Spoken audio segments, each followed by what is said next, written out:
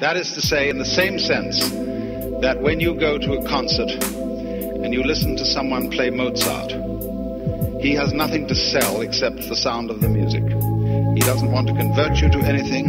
He doesn't want you to join an organization in favor of Mozart's music as opposed to, say, Beethoven's.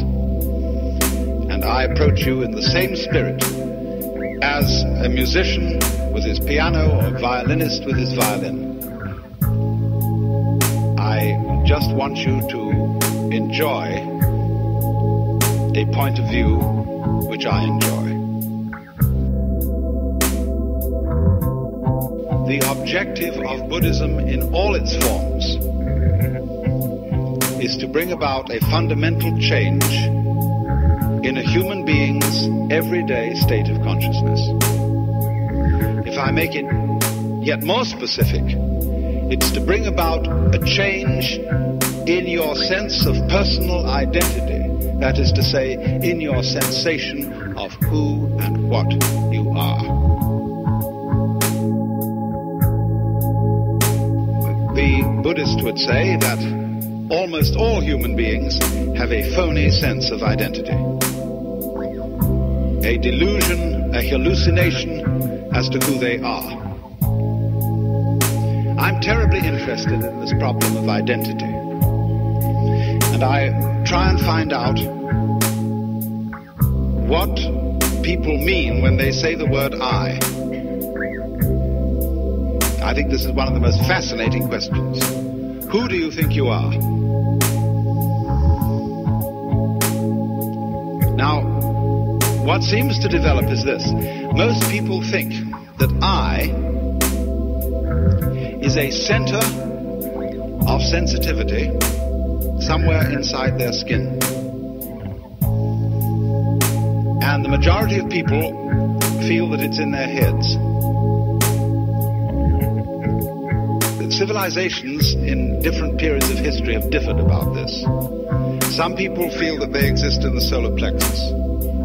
Other people feel that they exist about here. But in American culture today, or in the Western culture in general, most people feel that they exist in here. And there is, as it were, a little man sitting inside the center of the skull.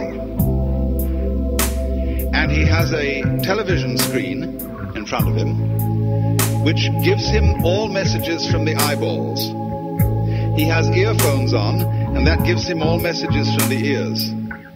And he has in front of him a control panel with various dials and buttons and things which enable him to influence the arms and legs and to get all sorts of information from the nerve ends. And that's you.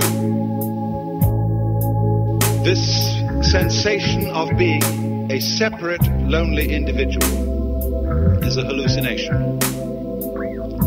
It's a hallucination brought about by various causes, the way we're brought up, uh, being the chief of them, of course.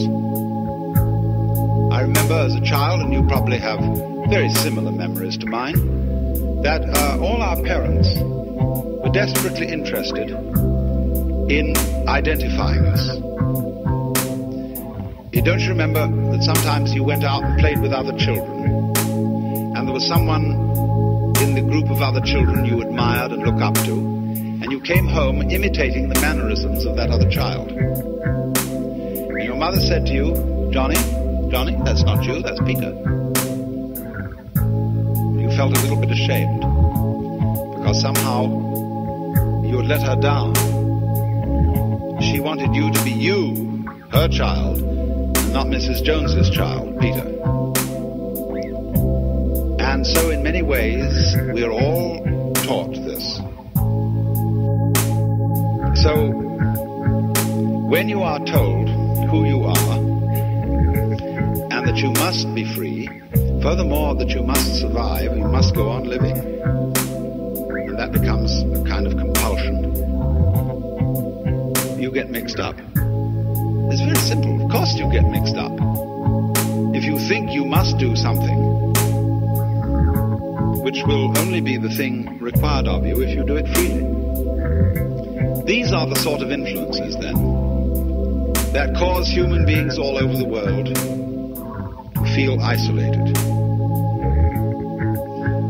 to feel that they are centers of awareness locked up in bags of skin, of skin, of skin, of skin.